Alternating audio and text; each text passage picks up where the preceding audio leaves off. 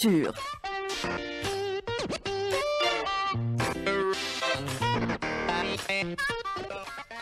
Fatah Boumadi, bonjour. Bonjour Soraya, bonjour Hakim, bonjour à tous les auditeurs.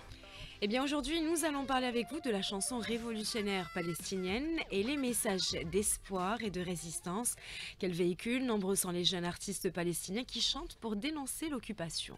En effet, donc euh, la chanson révolutionnaire a de tout temps accompagné les nobles causes et insufflé un vent de liberté, d'espoir et d'engagement. C'est le cas de la chanson palestinienne et son rôle majeur, c'est bel et bien véhiculer des messages forts au monde entier et dénoncer par la même occasion l'injustice et les affres que l'antitétionniste continue de perpétrer. Euh, les jeunes palestiniens demeurent déterminés et font parler d'eux grâce euh, à leurs chansons euh, qu'ils ont eux-mêmes écrites ou composées ou bien même des reprises. Le chanteur, euh, le jeune chanteur palestinien Mohamed Assaf par exemple a sorti tout un album intitulé Palestine Interroh et dans lequel il revient sur l'identité palestinienne et la résistance face à l'occupant sioniste. Écoutons un petit extrait.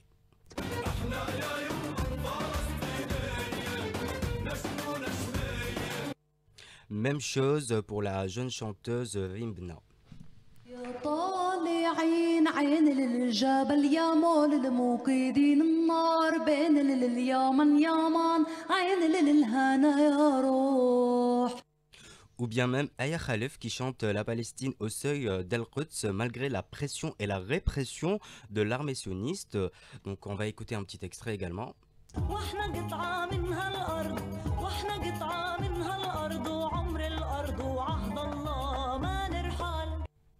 Rappelons également que bon nombre de chanteurs internationaux ont chanté la Palestine et qui ont fait le tour du monde, à l'instar du chanteur égyptien Mohamed Abdel Wahhab ou la chanteuse libanaise Fayrouz ou bien euh, Marcel Khalifa. Et donc euh, la chanson révolutionnaire est une forme de résistance, d'affirmation identitaire et de dénonciation. Et aujourd'hui, c'est tout le monde qui écoute ou partage des chansons révolutionnaires palestiniennes et ce malgré la censure qui règne sur les réseaux sociaux.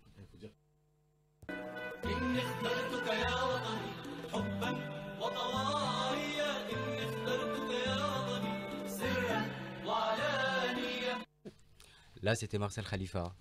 Et, ça nous rappelle euh, voilà, euh, notre jeunesse, euh, 50 ans de lutte de résistance qui explique la richesse euh, de ce patrimoine, de ce répertoire euh, palestinien de chansons de résistance. Et chaque génération qui arrive, euh, Fatah reprend un peu le flambeau. Absolument, et c'est- même Et un patrimoine. surtout ce- ce- C'est ce même un patrimoine, oui.